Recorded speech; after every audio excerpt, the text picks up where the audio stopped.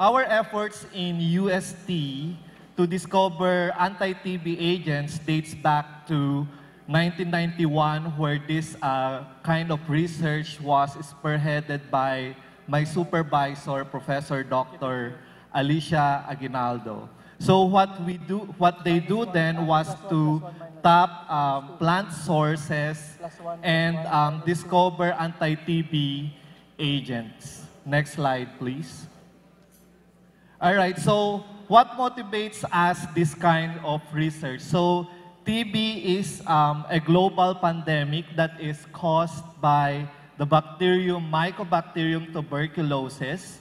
And the current treatment for TB is a combination of, or a cocktail of many anti-TB agents, namely uh, uh, drugs like uh, rifampicin, isoniazid, pyrazinamide, and ethambutol. So if you do not follow this uh, treatment regimen, it can cause the rise of multi-drug resistant strains. And therefore, there is a need to discover new anti-TB drugs. Next slide, please. Okay, so when I came back to the Philippines in um, 2011, I, I tried to set up my laboratory in such a way that what we do are chemistries that are inspired by biologists. So when we so to do this, so uh, since I have a background in natural products, so we use natural products as templates, and then we try to synthesize them, and along the way, if you have or discover a reactive intermediate, you could um, use this to develop um, some compounds and do scaffold diversity synthesis, after which we do screening, and then after screening, we could um, get some uh, candidates for further development in uh, discovering new drugs. So we could also use these compounds to pro probe their uh, mechanism of action. Next slide, please. Right, so the strategy uh, of my research relies on a basic um, chemical process that underlies uh, many reactions in, um, in uh, the cells. For example, uh, most of these reactions are polar in nature. So when we talk about polar reactions, we are talking of positives and negatives. Okay, so um, these positive species are what we call as electrophiles, and the negatively charged species or uh, species that are rich in electrons are called nucleophiles. Next slide, please. So a typical example um, in biology is uh, the chemistry of vision, wherein um, the reaction between um, the enzyme opsin, which contains um, a nucleophile, an amino group, it reacts with an electrophile that is derived from vitamin A. So when this happens, they form um, an imine that is very light sensitive. And then after uh, getting in contact with light, they dissociate to form again the opsin and the retinal. Next slide. Okay, so we use the concept of electrophilicity in discovering new drugs, okay? Especially in the discovery of new anti-tubercular agents. So what we seek are normally structures that contain that double bond um, that is uh, labeled with alpha and beta and connected to a C double O. Um, please forgive me because um, my uh, my research is kind of very technical, no?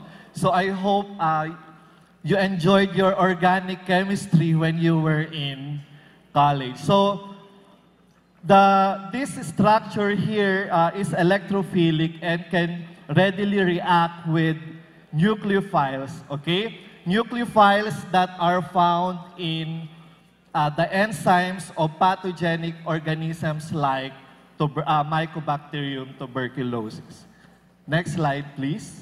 Right, so um, I can just give some examples that, of compounds uh, that we discovered in our laboratory. So one is um, this molecule right here. So we call it globospiramen, and it was um, isolated from Wakanga globosa.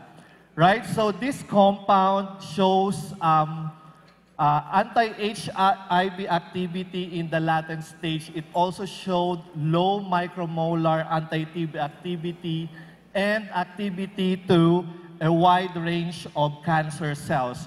Now, recently, we also um, isolated a compound that is antibacterial, antifungal, and the, uh, it was isolated from a new genus of a fungi. And we called it sparticulin. So if you notice at the structure, both of them contains this double bond that is connected with this uh, CO group. Next slide.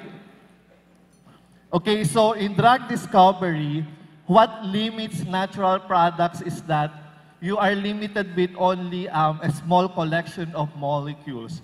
But in drug discovery, what we want is to have a collection of molecules so you can study well how well they behave with the target disease. Next slide. So in our laboratory, what we want is to convert um, natural products using this kind of reactions.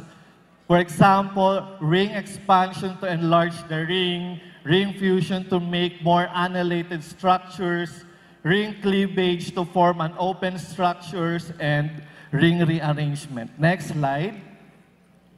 So, next slide, please.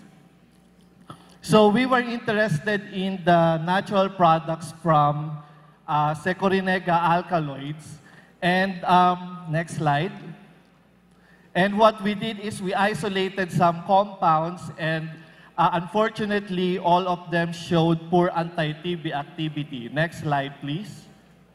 So we further, to improve the activity, we subjected them to a very simple reaction in such a way that it can be opened and can be, uh, and we can uh, get more structures for more structure activity relationship studies. Next slide. Okay, so in our, in our effort, so we, uh, we were able to get these compounds, characterize them. Next slide, please. So we were able to get, next slide, um, uh, 11 compounds. Next slide, please. And after assessing their anti-TB activity, um, we were able to get um, a very promising compound which has a low MIC activity with TB, which is very comparable with the uh, standard drug isoniazid. Next slide. And to clarify the activity of the compound, we made some molecular docking versus um, inyl ACP reductase. Next slide, please. And found that it has a similar binding with isoniazid have, uh, with interactions with several uh, amino acids in its active site. Next slide.